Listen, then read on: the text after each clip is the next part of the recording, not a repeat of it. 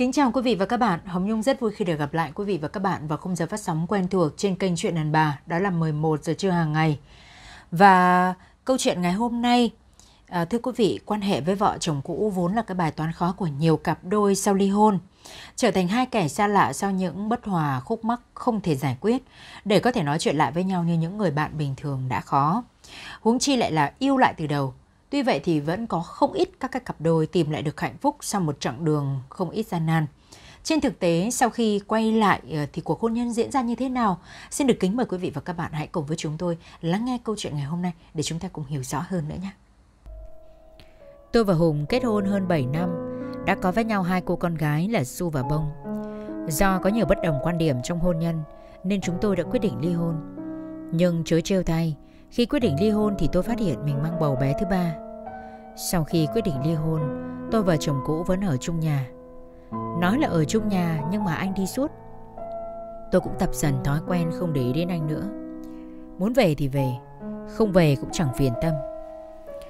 Đứa bé trong bụng tôi ngày một lớn. Khi phát hiện ra, anh gần như gầm lên. Hóa ra cô là người như thế. Tôi cứ tưởng cô tử tế, tôi còn cảm thấy có lỗi. Đúng là bất ngờ. Chưa kịp bỏ tôi, cô đã có chữa với thằng khác. Cũng đúng, Anh không có nhiều thời gian nhỉ Nên chưa biết hết về tôi. Tôi lặp lại chiều nói xong, Quay người bước đi luôn. Không cho đối phương có cơ hội nói thêm câu nào. Nếu mục đích chỉ để khiến cho anh ta tức điên lên, Thì tôi đã thành công. Điều tôi không ngờ đến là anh ta bị tự ái đàn ông, Làm cho không kiềm chế nổi, Lao bổ và tát tôi một cái cái tát không đau, bằng nỗi đau bị sỉ nhục. Tôi sững lại nhìn anh ta chầm chầm gằn từng tiếng. Ra khỏi nhà. Tôi ngồi đợi anh dọn đồ, Ngay lập tức. Sau đó là một chuỗi ngày tôi lì lợm, Không nhỏ một giọt nước mắt. Tôi chỉ làm và làm. Bố mẹ mắng, Anh chị khuyên can, Tôi không nghe ai hết. Tôi lao vào như điên Để làm việc. Tôi phải có tiền. Khi có tiền, tôi sẽ sống cho mình. Tôi sẽ lo cho các con.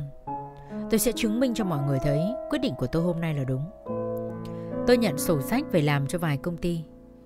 Đến lúc này mới thấy chăm chỉ học hành, nghiệp vụ tốt không bao giờ là thừa. Còn một sự may mắn nữa là tôi có bố mẹ hai bên đều yêu thương, phụ giúp tôi lo lắng cho bọn trẻ. Tôi chỉ việc yên tâm từng bước thực hiện kế hoạch kiếm tiền của mình. Chồng cũ thi thoảng cũng qua. Anh vẫn rất đầu đuôi mua quà cho ông bà, đưa các con đi chơi. Nhưng chúng tôi không nói chuyện với nhau. Không có mối hận nào lớn hơn sự hận thù của những người Chính người mà ta tin tưởng nhất làm cho thất vọng. Chúng tôi chán ghét nhau. Cứ như thế, Tôi dò dẫm bước ra khỏi nỗi đau, Kiên nhẫn ép mình vào kỷ luật tự mình đề ra. Dịu dàng với bố mẹ, Nhẹ nhõm với các con, Kiên quyết xóa bỏ Hình bóng chồng cũ ra khỏi tâm trí. Bé trứng giờ đã 2 tuổi. Mẹ con tôi vẫn sống ở căn nhà cũ. Nhưng mà tôi đã tự mua được ô tô. Thuê người giúp việc Dành thời gian cho bản thân Cho gia đình. Và tôi cũng có vài người theo đuổi. Trong số đó còn có cả những chàng trai rất ưu tú Trẻ tuổi hơn tôi nhiều. Nhưng tôi chưa thấy rung động với ai. Tôi chỉ đang tận hưởng chính mình Một quý cô độc thân xinh đẹp, quyến rũ, có trình độ trong quá trình tận hưởng này tôi khám phá ra nhiều khả năng tiềm ẩn, sự mạnh mẽ mà trước giờ tôi chưa từng biết tới trong con người của mình. Ở một góc độ nào đó, tôi cảm ơn cuộc hôn nhân thất bại của mình và cũng dần bớt căm ghét chồng cũ hơn. Bởi vì tôi tự tin và thấy hoàn toàn thoải mái với hiện tại. Chồng cũ cũng đã lấy vợ, chính là cô gái đó. Anh và tôi cũng đã có thể nói chuyện với nhau, cùng lo cho con gái. Chỉ riêng với trứng là anh tránh không nhắc tới tục trả thiết tha thanh minh. Thì thoảng tôi cho Su và Bông về ở với anh. Nhưng hai đứa nói gì không vui Hay quát bố. Tôi hỏi các con, Thôi thông cảm cho gì? Phụ nữ không có con cũng hay khó tính. Tôi nói với các con như vậy Để chúng có cái nhìn bao dung hơn với vợ mới của bố. Chứ thực tâm tôi không quan tâm đến cuộc sống của họ. Chúng tôi chỉ còn một mối liên hệ duy nhất là các con. Một ngày Su thông báo Mẹ biết tin gì chưa Bố với dì Liên bỏ nhau rồi đấy Tôi đón nhận thông tin rừng rưng Nhưng Su, Bông thì lại thương bố Suýt xoa, Xót cho bố toàn vì đi ăn ngoài hàng Vì vậy, Thỉnh thoảng tôi đồng ý để chồng cũ qua nhà ăn cơm chung với mẹ con tôi. Chúng tôi cũng đã nói chuyện với nhau cởi mở và vui vẻ hơn. Anh hay đùa trở lại. Tâm sự cả chuyện anh với Liên tại sao bỏ nhau. Không khó để nhận ra anh hay cố tình quên không dùng chữ vợ cũ như trước. Anh qua lại nhà thường xuyên hơn, nhắn tin dù tôi đi ăn, gọi điện dù đi mua đồ cho các con. Bản năng đàn bà cho tôi biết anh đang tán lại vợ cũ mình. Tôi kệ, cố tình ơ hờ, vui vẻ xong lại thờ ơ. Điều đó càng khiến cho anh điên cuồng theo đuổi tôi lại. Thật kỳ lạ, trong sự hãnh diện rất đàn bà, tôi lại thấy tim mình rung động. Giỏ hoa các dịp vui, bánh kem sinh nhật, không khí gia đình vui vẻ quây quần. Cảm giác này vừa thân thuộc lại lạ lẫm. Tôi thèm cái không khí này biết bao. Nhìn các con vui vẻ cười đùa, tôi thấy cuộc sống đáng yêu vô cùng. Và chuyện gì đến cũng phải đến. Chúng tôi lại ngủ với nhau. Lần đầu sau bao nhiêu năm làm vợ tôi mới biết quan hệ không phải chỉ là chiều chồng mà là sự chiều chuộng lẫn nhau. Trải nghiệm này khiến cho tôi thấy mình thực sự là một người đàn bà có giá trị. Anh háo hức yêu, chiều chuộng nâng niu tôi. Tôi trẻ trung nồng nhiệt, tự tin hơn xưa, sôi nổi ngọt ngào hơn xưa. Anh thích thú khám phá tôi ở góc độ mới, vừa ngỡ ngàng lại vừa trân trọng. Chúng tôi cứ thế quấn vào nhau, cháy bỏng, nồng nhiệt. Có nằm mơ, tôi cũng chẳng tưởng tượng được cuộc đời tôi lại có lúc được hạnh phúc ghé thăm. Rõ ràng đến như thế. Tôi có anh, có các con, đầy đủ một gia đình. Tôi lại được yêu, điên dại sau cơn đổ vỡ, với vô vàn nước mắt mà có lúc tưởng tâm hồn mình đã chết đi rồi. Tôi xác định bỏ lại tất cả buồn thương đã qua, làm lại, yêu lại, tha thứ. Nhưng đời dài không như mộng tưởng Một sự kiện xảy ra làm đảo lộn giấc mơ tươi đẹp của tôi một tối chúng tôi trốn con đi chơi. Vòng vo một hồi anh hỏi. Thằng trứng là con ai đấy?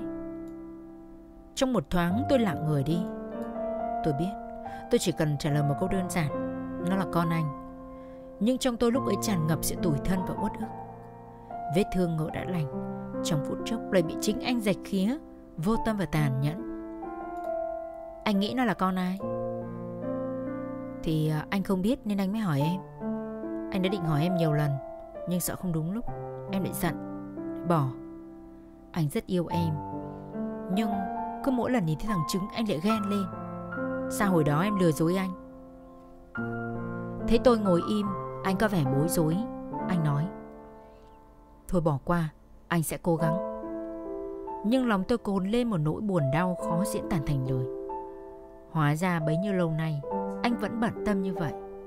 Trong lòng anh tôi vẫn là kiểu phụ nữ chẳng ra cái gì. Giữa chúng tôi không thể lờ đi quá khứ.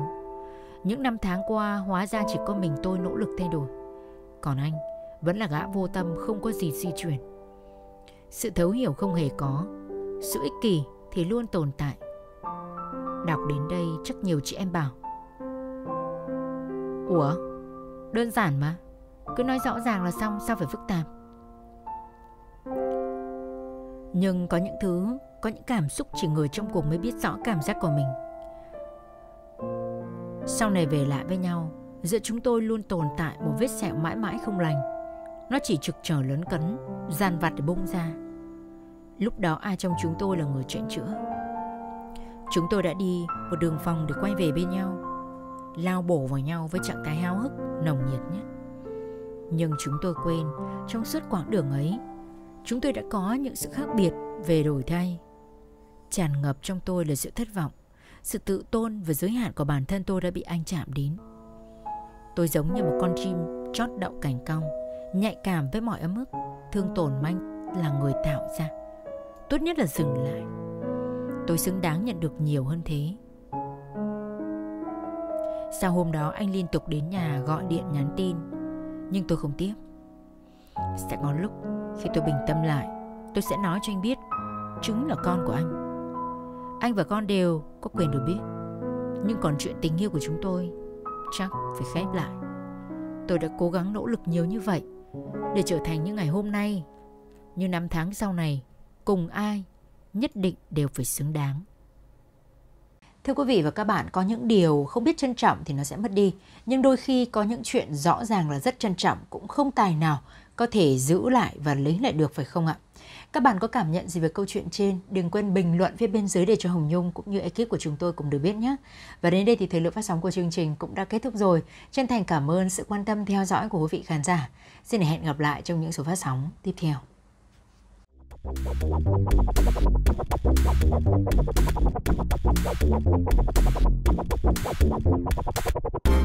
you.